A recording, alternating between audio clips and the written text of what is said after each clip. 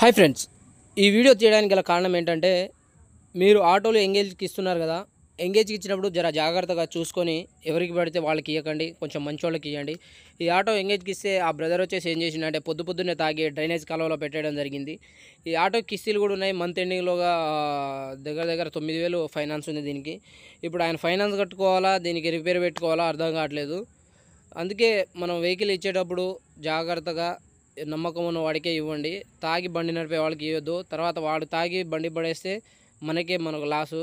అందుకనే మీకు మీరు కూడా ఒకసారి ఆలోచించండి. కొంచెం తగిన వాళ్ళకే వెహికల్ ఇవ్వాలని చెప్పేసి నా యొక్క చిన్న రిక్వెస్ట్.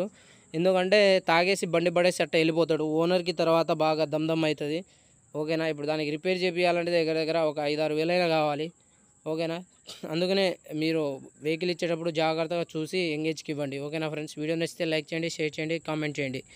ఓకేనా? మీకు ఎప్పుడైనా ఇలాంటి ఇన్సిడెంట్ జరిగితే మన కామెంట్ సెక్షన్లో కామెంట్ పెట్టండి. ఓకేనా? Thank you